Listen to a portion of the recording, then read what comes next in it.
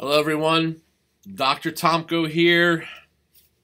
Haven't seen you in a little while. We've been um, trying to get set the best we could for this opening of the school year. So I do have an announcement today um, that I would like you all to listen to. It'll be followed up with a summary and a small email. Um, and I'm speaking today to all of you um, as your superintendent, as a father, and as someone who has now spent the re- the last four months learning everything I possibly could about this disease, um, this virus. I'm sorry, the everything about safety precautions and everything we can do to say to you that even though we're going to do everything we can, um, we know that this is still a real thing out there. Um, and in saying that, we've worked very hard uh, to try to meet all the CDC recommendations and requirements to make sure everybody's safe. And I told you I'd be transparent as possible. And where we are at is in a difficult, unprecedented time for the simple fact that on August 21st, on August 21st, the CDC came out with some new recommendations and some new guidelines, which was a game changer for us. And I, and I think you're seeing that um, around the state now, and even in New York City today. Um, some of the recommendations for filtration and air systems have come at a time when some of these things that are being recommended just aren't possible overnight fixes. So, in saying that, we want to make sure that we're being diligent. We want to make sure that we are listening to our faculty and staff. We want to make sure that we're able to provide the appropriate um, an appropriate assurance to all of you on social distancing, flow and entry, some of these things that we've been working on, uh, but more specifically, filtration needs. As our filters, our filtration systems are brand new pursuant to specifications um, with regard to our referendum construction plan and the New Jersey Department of Education. However, don't forget, all of this, all of this was a consideration pre-COVID. Um, so one of the concerns now is how do we make sure that when we bring these students, these faculty and staff members back into our buildings, that we can give the best um, mechanical rating or filtration rating that we, we can. And over the past week and a half after the guidance from the CDC came out, we have been working with our faculty and staff, with our executive teams and everyone to see the best that we can do uh, and in trying to get some equipment that we need in time to open. So the only way we could possibly do this and make sure that it's it's going to be done in, uh, in an effectuate effectuate change in a positive way is to do it in a phased opening. Okay, so we are going to phase students in as we continue to make sure our rooms have these new filtration systems and we can assure appropriate social distancing. So that's been my decision now in working with the faculty and staffs. Uh, I know for some of you it's not going to be a popular decision. Unfortunately, it is what it is. And again, this guidance just came out very recently.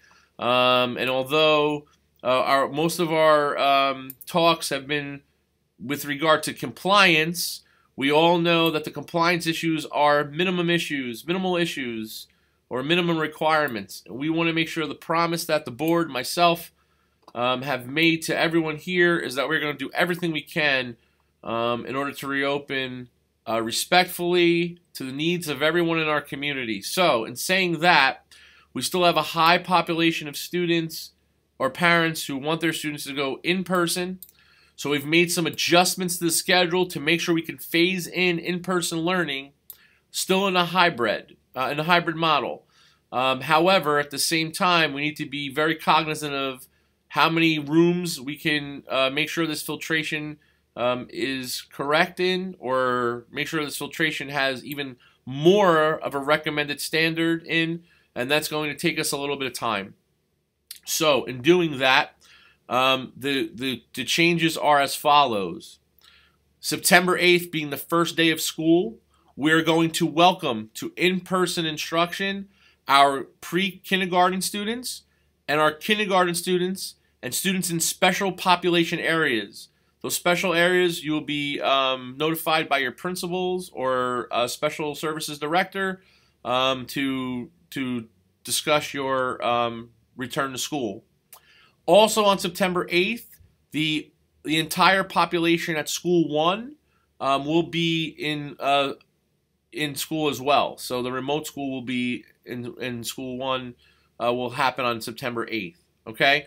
So that is the original opening day of school. We are going to phase the younger students in first, um, and they will go in a hybrid class. Everyone else on September 8th, everyone who is not in pre-K, K, and in a special population will be doing remote, remote learning from school. Now this will occur, there'll be more direction uh, for you over the next several days. This will occur with your children logging in at home just the way they would be here. So, for example, if they have a class at 8 o'clock, they would log into that Google Google Classroom um, at 8 o'clock and be taught synchronously. So, whatever schedule they would have had um, if they were in person, they will have now just in remote learning until they do come back in the phased uh, entrance. So then we move to uh, next week, September 14th. The following week, we'll, we will now then invite we will still have those first populations in our buildings. And then we will invite the next three grade levels, grades 1, 2, and 3. So on September 14th, um, we will expect cohort A to be in um, grades uh, pre-K, K, 1, 2, and 3. All right, don't forget, we're still going with the cohorts A and B to make sure we maintain social distancing. So on the 14th, we see grades 1, 2, and 3. Then on September 21st, we'll, we are going to invite grades 4, 5, and 6 again, with um, at that point, our entire um, elementary population will be in school. So within the first uh, two and a half weeks, we'll have the entire elementary population back to in-person learning um, with the what we feel is an appropriate level of filtration for our air quality um, and social distancing. By that point, we'll be pros at all this, um, so we can easily get back into the classrooms. Um, then on September 28th, the entire district will be in. That'll be middle school, high school, grades pre-K through 12. Again, this is not optimal. This is not what we were planning for. Things were changing very rapidly. Um, I think as we got closer to opening, uh, I think there were there were some some factors involved um, in making some of these changes. I, I know this this is coming very late, but again, all this just happened soon. Uh, I think it's important to understand that the only reason why, although I'm sure there'll be a lot of rumors flying around out there, the only reason why these changes were made uh, was because of our need to ensure that we did everything we possibly can to make our students, our faculty, administration, and staff safe. Um, but again, I will say this these walls, these schools will not keep COVID out. Um, these are not complete safe havens, uh, but we can do everything we possibly can because we will be in here together at longer periods of time than we would than you would anywhere else. So we need to take that into consideration. Um, I will also say that it's all according to what you do at home when we open up on the 8th, especially for those first few grade levels. Um, keeping people socially distanced, keeping your children home if they're symptomatic, um, you know, you have to do your part as well. Again, uh, some of your um, actions at home, as either you know at your own work or whatever it is, um, with with with your families, keeping people away from each other who may be symptomatic, that would will only trickle on into our building. So please, we need you to work on that with us as well. Okay. Um, we are going to help with childcare the best we can, uh, meaning that if now this has kind of, you know, put a damper on you, our champions program is going to be opening up extra extra sections during the day to assist any individual parent who needs help. I'm sure some of that pricing will be reduced because of this emergency situation. Again, we were not expecting to do this until some of the recent CDC regulations just came through um, or recommendations just came through. Um, I will follow this up with an email to you so you have it with regards to some of those concerns. If you have any questions, please reach out to me, extension 1022, or your building principal. Please make sure you check your emails. You go online and you log in for some of the new um, the new things that we need to do with regards to um, forms and whatnot to fill out, so you get your schedules. Okay, this has been a very crazy few weeks.